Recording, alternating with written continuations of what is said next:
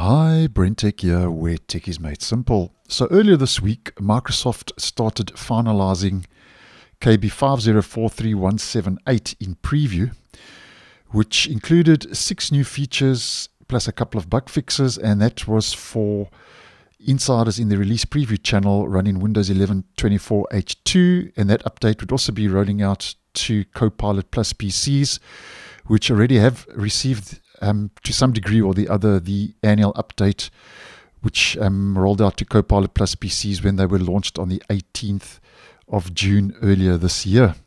Now, that video will be linked down below and in the end screen. And my reason for mentioning that video is because late yesterday in my region, on the 25th, Microsoft updated the changelog for build 26100.1876, which is being finalized in preview, to include two new features and a bug fix. And both of these new features, like most new features now in the release preview channel for 24H2, Microsoft is gradually roll them, rolling them out.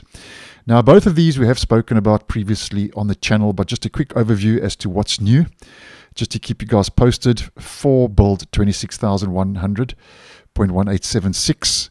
And the, the first of two new features that Microsoft has rolled out is the update adds the option to turn on and to turn off enhanced mouse pointer precision to settings in the actual settings app. And there's also a new option to change the direction in which the mouse scrolls, which I think is a nice move. So that's now in the settings app. And something else um, they've added to settings is you can now set the power mode for when your PC is plugged in and when your PC is on battery. So this is on the uh, the settings system power and battery page, and this is another legacy control panel feature that Microsoft is now bringing over from control panel into the more modern settings app. And Microsoft has been slowly doing that in Windows 11.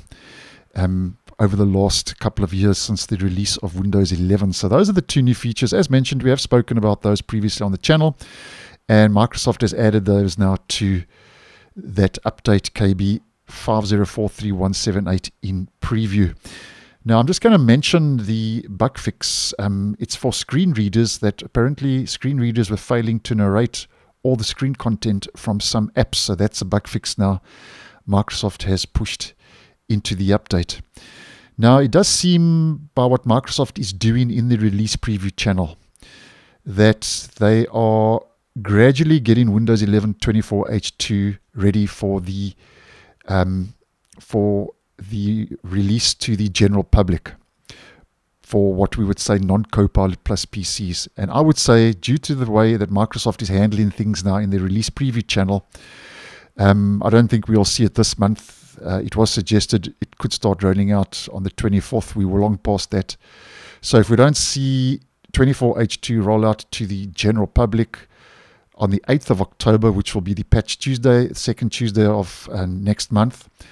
And by the way, just on a side note, I did roll around a poll on the channel, and most users think Microsoft will start pushing it out on the 8th. But nonetheless, if they don't push it out on the 8th, I think we could be heading for a 22nd or a 29th of October release or somewhere in that kind of last week, week and a half of October.